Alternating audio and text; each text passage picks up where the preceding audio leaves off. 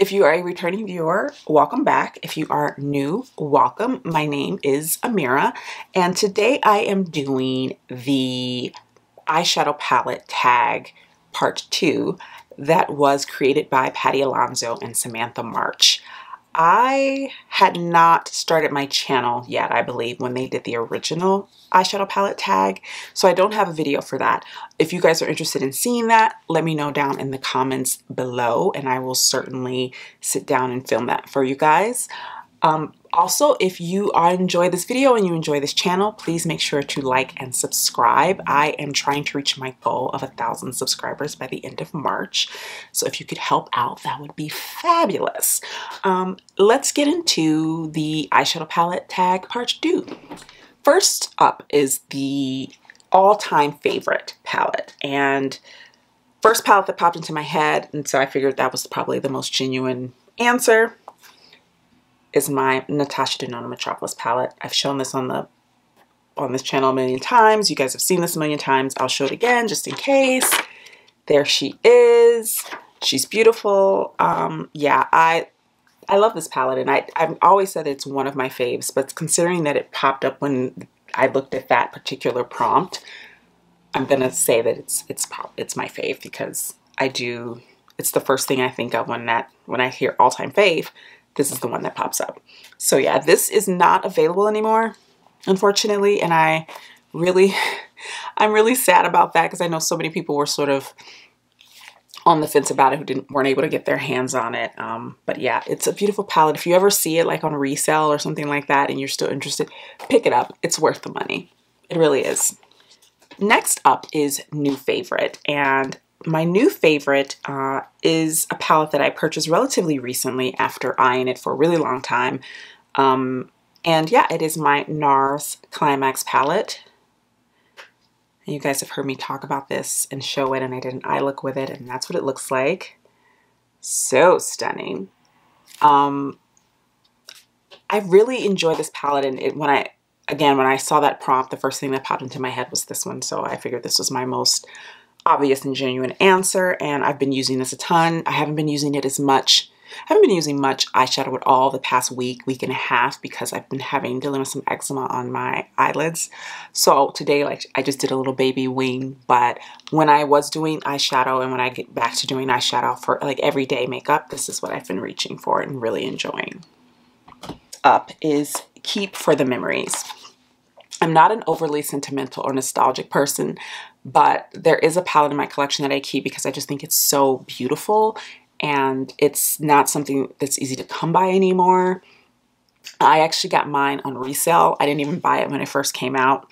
Um, but yeah, that is my Urban Decay Jean-Michel Basquiat palette in Gold Griot. They had two palettes. This is the one that is the more neutral one with the pops of blue and it's like a yellow shimmer here. I love this palette and the shadows still perform. Like I've used this relatively recently, not like in the last like couple of months, but it hasn't been that long ago and the, and the shadows still perform really nicely. It's a beautiful palette and yeah, I just, I think the color story is pretty and the packaging is stunning. Yeah, so I keep this um, for the aesthetics, not really for the memories, but for the aesthetics. Next up is underrated. And for this prompt, I actually have a whole collection of palettes that I want to mention in this little, in my answer, because I feel like all of them function pretty similarly as far as um, quality goes, but I feel like they're underrated because of sort of the way that they were released, the fact that they're not the same formula as the mother brand and the fact that they're so large.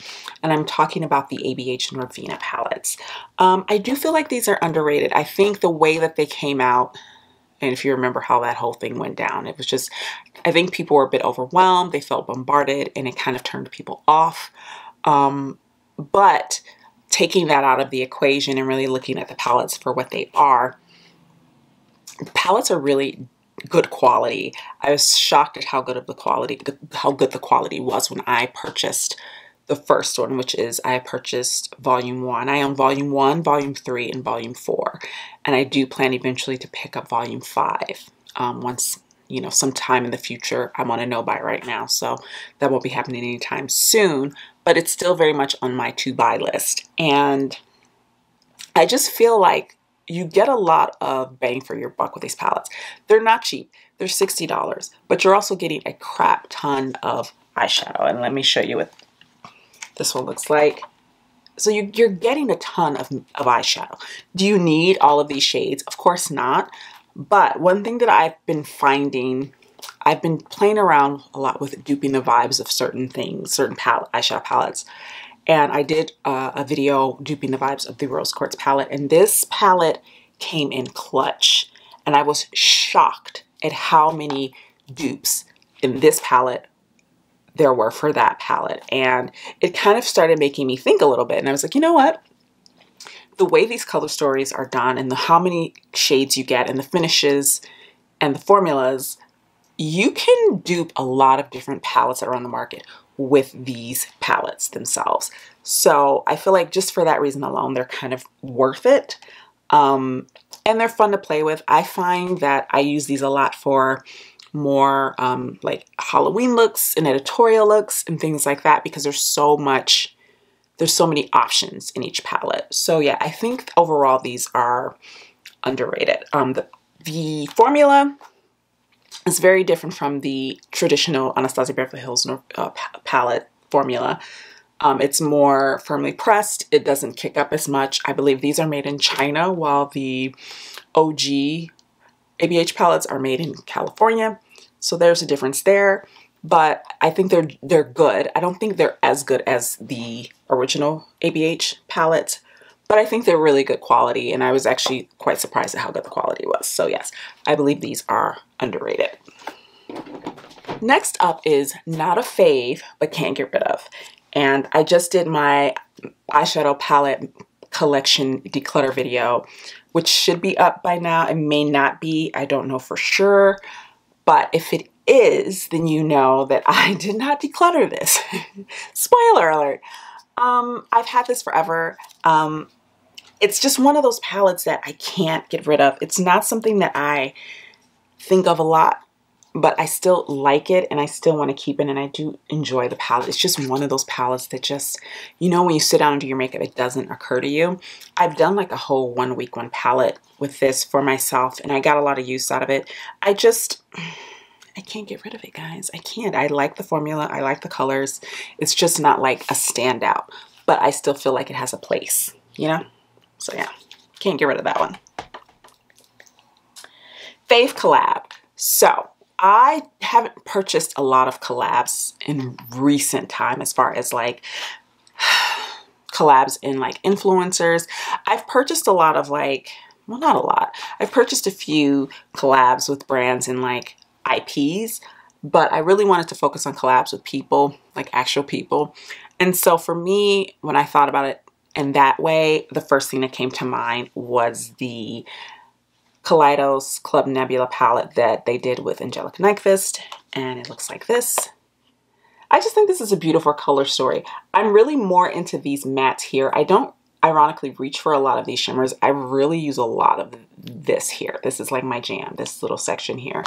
And the formula is stunning. I think she did a great job as far as the really rich, deep, and I know that Angelica really loves rich jewel tones and you can really see that in this palette. But yeah, I think it's a beautiful, beautiful palette and I enjoy using it and I think it's a, a, a great collab. Next up is the 2021 favorite. I did my um, I, well, it wasn't really a ranking video, but I talked about all of the palettes that I tried in 2021. And I said that if I were going to pick a favorite, it would probably be this one. And so to me, this was like the natural choice. Um, this is the Pat McGrath um, Holiday Holiday 2021 palette, Celestial Odyssey. Looks like that. It's beautiful. I, I just, I was not into this palette. I purchased it to review. I was not expecting to love it as much as I do. And honestly, this palette could actually go for the next prompt as well, but I chose a different palette for that because I didn't want to do too many multiples. And I do have two palettes that fit the category. But this palette quickly became my favorite palette of last year because I just found myself reaching for it and I was shocked at how much I was reaching for it and how much I enjoyed using it and how many beautiful looks you can get out of it. It's a really beautiful, beautiful palette and I hope if you had your eye on it that you're able to get your hands on it. She had a huge sale um, I think it was last month. So hopefully this was still in stock and you were able to get your hands on it at a decent price if you wanted it because I believe it is discontinued now. But it is definitely, I think of all the palettes that I used last year, this is the one that I found myself going back to again and again and again and really coming up with really different unique looks each time I used it. So yes, 2021 fave. Next up is the prompt didn't expect to love. And again, I said that the Pat McGrath Holiday Palette could fit that category, and it can. But another palette that could fit it is the ABH Norvina palette. This is an OG, but I didn't purchase it until September of last year.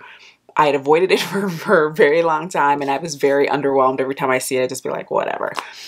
But I was, I don't know what was going on on Instagram, but there were so many people who were posting looks where I was like, oh my God, that's stunning. And then I would look at the details of the products used, and this palette would be the palette that was used, and I'd just be like, why am I, why don't I own that? And so when Ulta had their 21 Days of Beauty sale last September, I picked it up. And guys, I just, I don't know. I love it so much. It's so beautiful. The finishes are lovely. It's, it's just, I was shocked at how much I enjoyed using this.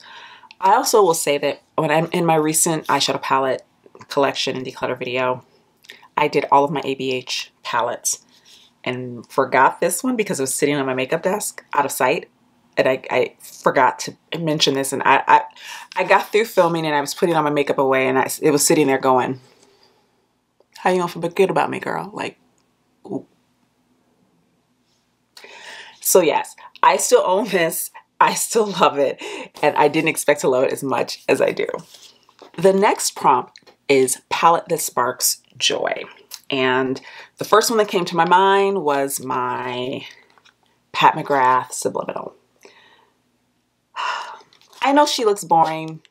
I, you know, I thought she was boring for a very long time. I talked shit about this palette for a really long time. I'm like, that palette is so boring. And then I purchased it and I get so excited to use this palette. When I decide that I want to play with it, I sit down and I'm just genuinely inspired. I'm genuinely excited.